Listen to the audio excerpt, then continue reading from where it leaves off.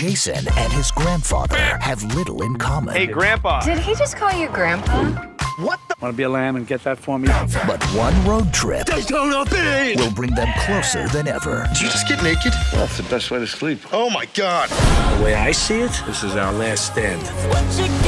It's actually kind of fun. Thanks, Grandpa. You guys, you have to come see this. Dirty Grandpa, rated R, January 22nd.